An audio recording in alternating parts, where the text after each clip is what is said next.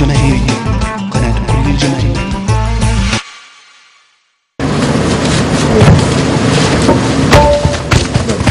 شوي شوي شوي اسمع. شوي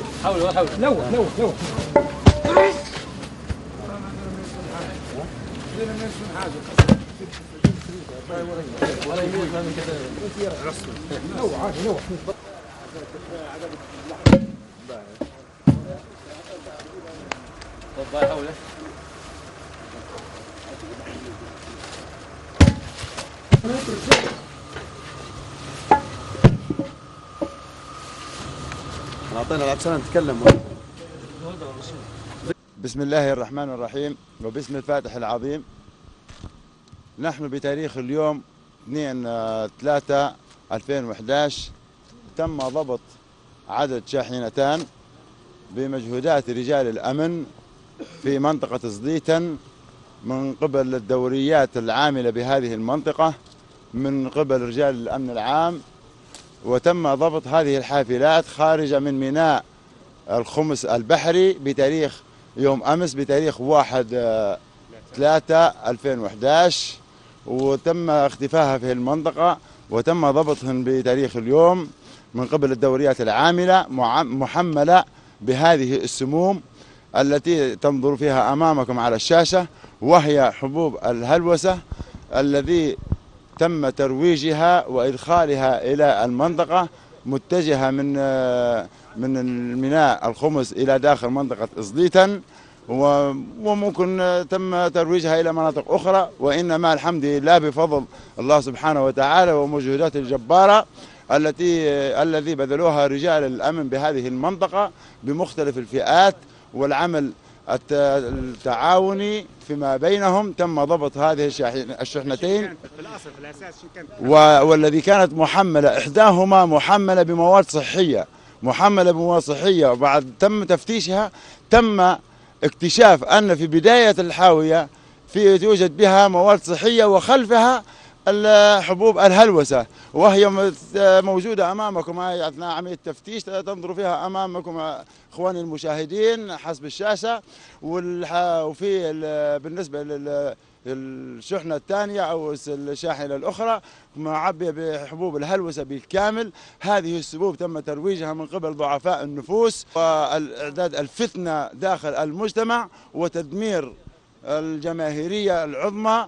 وتدمير شباب الجماهيرية والتعاون مع الجبهة الخارجية لتدمير ثورتنا وتدمير بلدنا.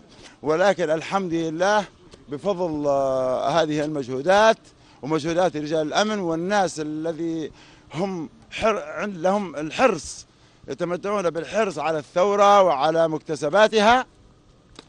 والدفاع على الوطن تم ضبط هذه السموم وهي من الحبوب الهلوسة الخطيرة الذي كانت سببا في الأحداث الأخيرة التي شاهدها المواطن وشاهدتها الجماهيرية بأكملها والوطن العربي بأكملها. هذه الحبوب يعني أغلب البشر وأغلب الشباب وأغلب المواطنين وأغلب حتى رجال الأمن جل رجال الأمن لا لا يفقهون شيء ولا يعلمون بشيء عن هذه السموم. هذه السموم أي شخص شفت شفتوا عملية التغ... عملية الإغراء اللي موجودة فيها هذه السموم. هي عبارة عن آه، تلقاها ال- العلبة متاعها عليها آه، صور ل صور آه، الفواكه وأي أي طفل أو شاب أو مواطن أو حتى رجل أمن يعني ما مستبعد حتى رجل حتى رجال الأمن يجهلون هذه. جيت اعطيه هذه الحبوب ممكن يتناولها بكل بساطة ولما يتناولها يقدم على أي عمل يديره بسم الله الرحمن الرحيم. هذه السموم والكميات التي تم ضبطها داخل منطقة زليتن وهي متجهة من ميناء الخمس البحري وتم خروجها من ميناء الخمس البحري يوم أمس واحد ثلاثة 2011 واتجهت إلى إلى منطقة زليتن وتم ضبطها في داخل منطقة زليتن وهي محملة بمواد الخزف والمواد الصحية وعندما تم تفتيشها كانت هذه الحاويات محملة بالحبوب والسموم التي زرعها أعداء الثورة من الخارج والداخل. وتم وتم عندما فتشت هذه الحاوية تم وجود الكميات هذه الحبوب الهولس الهولسة داخل هذه الحاوية. ونحذر الأخوة المواطنين من هذه الحبوب من هذه الحبوب وهذه السموم. بسم الله الرحمن الرحيم. طبعا آه، سمعنا سمعنا اللقاء كله وعملية الضبط الكمية هذه اللي من الأقراص. وطبعا الأقراص هذه آه، نوع آه، تريمادول وهي تختلف بحجم العلبة وبحجم النوعية ومشكلة بعدة نكهات ومنها من نكهة الكرز. إلى نكهات أخرى تعتبر عادية. وهي تعتبر من المواد المهلوسة أو الأقراص المهلوسة.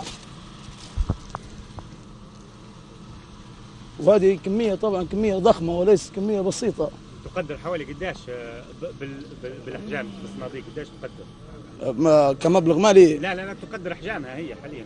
والله شو بنقول لك هي يعني حاوية 12 12 12 متر 12 متر 12 متر الحاوية يعني وفيها كمية مش شوية من الأقراص هذه هذه كمية آه، مذهبة للعقل هذه ومختارة ب- بنكهات معناها نكهات فراولة وكرز يعني حسب و- والجرعة متاعها طبعا تختلف من بك لبك وفي اللي جرعتها قوية وفي اللي جرعتها ممكن ما يعرفوهاش والشباب ما يعرفوهاش الأطفال هذه ما يعرفوهاش. اي أي حد حتى تحطها لها أنت في مكياطة ولا في قهوة. اي أي حاجة حطها لها عادي ما ما- يتبننش النكهة هي اللي بي هي اللي بتغير المذاق نتاعها لكن تأثيرها في الرأس أقوى من من مذاق النكهة. بلد سوع ميد ان إنديان. هند من الهند مصنوعة من الهند. ونشكر ال- الأعضاء كلهم والجهود المبذولة في سبيل القضاء على هذه الآفة الخطيرة اللي كانت حتضيع الشباب وكانت حتفسد هالبأجيال والحمد لله بفضل تعاون الأجهزة الأمنية تم القضاء على هذه الكمية و... وافتكينا منها والحمد لله. ننبه على السائقي الح- الشاحنات والحاويات أن يتقدموا بشاحناتهم وبحاوياتهم لأقرب مركز شرطة أو نقطة أمن أو. أو نقطة تفتيش لتأكدوا من سلامة ال- المواد الذي التي تم تحميلها من ميناء الخمس وخرجوا بها من ميناء الخمس لأن هذه السموم تم خروجها من ميناء الخمس بتاريخ واحد ثلاثة اللي هو يوم أمس وأكيد يعني في حاويات أخرى خرجت معها وما تمش ضبطها. فلهذا ننبه فلهذا ال- العملية يجب على كل سائق تم شحن شاحنته من ميناء الخمس والخروج بها. يجب عليه أن يتوجه إلى أقرب مركز شرطة أو نقطة تفتيش أو نقطة أمنية ليتم تفتيش آه، الحمولة اللي هو محم- محملها والتأكد من سلامتها. وأكيد يعني في عدة حمو في عدة عبوات أخرى ماشية في حاويات أخرى ونطلب حتى كذلك أمر من جميع نقاط التفتيش يسلطوا الضوء على هذه الشاحنات والحاويات والتأكد منهن حتى يتم ضبط جميع الكم كل الكمية التي تم خروجها من ميناء الخمس أو من أي ميناء بحري آخر. الله ومعمر وليبيا وبس. الله ومعمر وليبيا وبس. الله ومعمر وليبيا وبس. الله ومعمر وليبيا وبس. أنا الاسم أحمد عمر الشكري. طلعنا أمس من الميناء العشية المغرب. سائق الشاحنة طبعا. طلع وط- وطلعنا اليوم قال المخلص ما تطلعوش إلا نكلمكم الساعة 10 والله.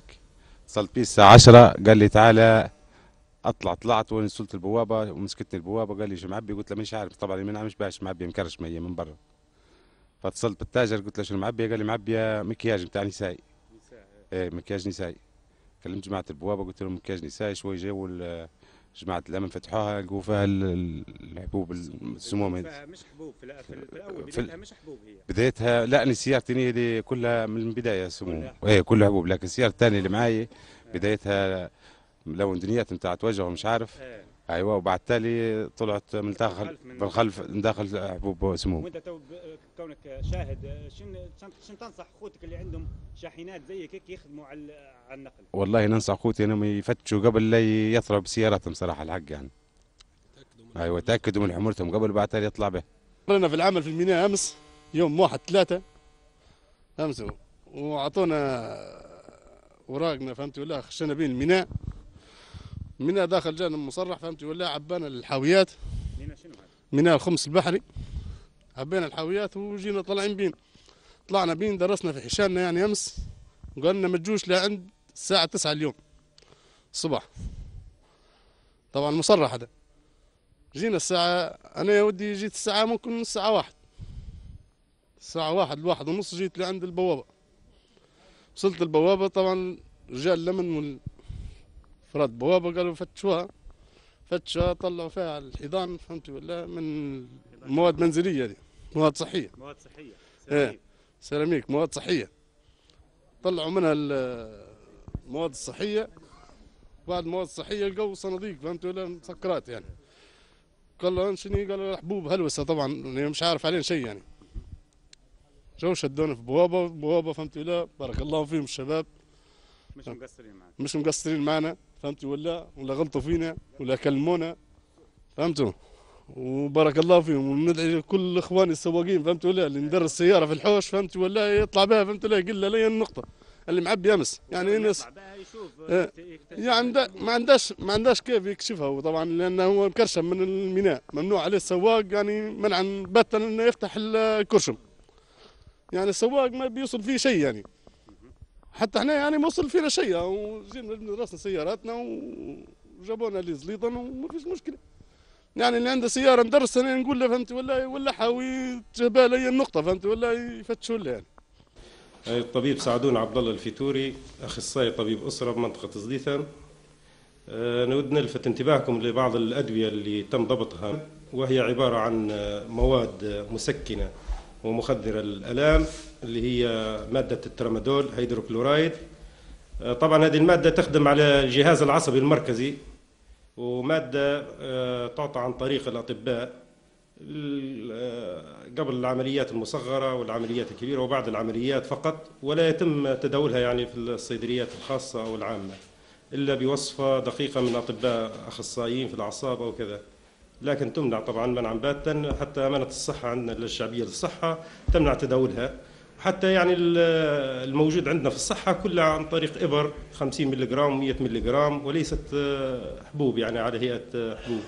طبعا المواد اللي قدامي في اللي مكتوب عليها صنعها يعني مستورد عن طريق الهند وفي اللي مجهولة آه، الصناعة بجرع من 225 و200 و100 ملغ وفي بعض طبعا حتى بالنكهات أنا تقريبا نكهة الفراولة هي موجودة وضحها حسين شوية قربها للصور هذا طبعا بالنكهات هذا نكهة الفراولة.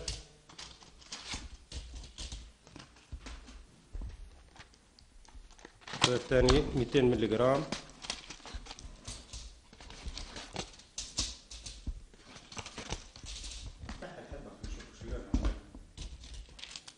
طبعا هذا مكتوب عليه صناعة هندية اللي بكوي أزرق. هذا لون الحبة حمراء.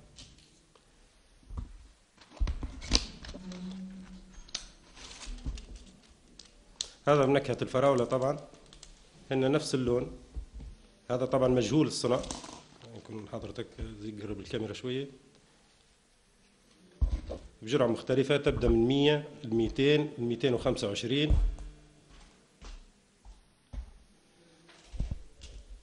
إن شاء الله ربي يستر على شبابنا. السلام عليكم ورحمة الله وبركاته.